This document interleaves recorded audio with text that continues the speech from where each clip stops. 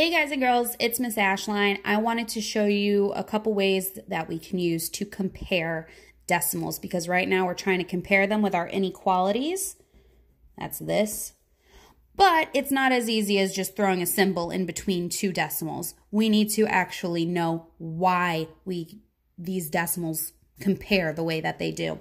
So one way that we can use is by drawing our pictures, which we've done before. So if I gave you 2 and 6 hundredths, and 2 and 1 tenth, I could draw these pictures. There's a whole, there's a whole, and then one, two, three, four, five, six.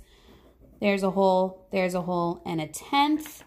And if I look, I can look at this whole number first and go, okay, well, they're pretty similar. That's the same, that's the same. Okay, they're still equal. That's the same, that's okay, the same. Okay, they're still equal.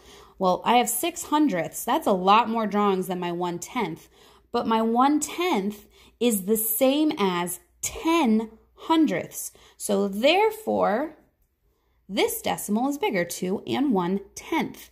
This is the same as 1, 2, 3, 4, 5, 6, 7, 8, 9, 10. Okay, that's one way, using pictures. Another way would be to use a four column note. I've got my ones place, I've got my decimal, I've got my tenths, and I've got my hundredths. And every time that you see a decimal, you can plug that decimal into this four column note. So I could do two and six hundredths, two and one tenth, and then I go from the left to the right. Okay, these are the same. Obviously, my decimal is the same. It's a decimal. Oh, this right here, the 1 in the tenths place is bigger than the 0 in the tenths place. So therefore, this decimal would be the largest. Let me try that with some decimals we haven't tried yet, though. So I've got my ones, I've got my tenths, and I've got my hundredths. If I gave you 4 and 56 hundredths and 4 and 30 nine hundredths. Again, I start all the way from the left. So if I look at the left two numbers first, they're the same.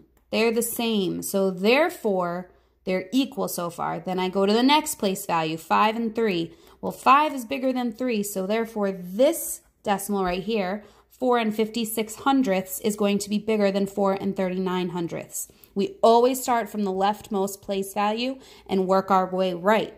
That's because you might see something like this.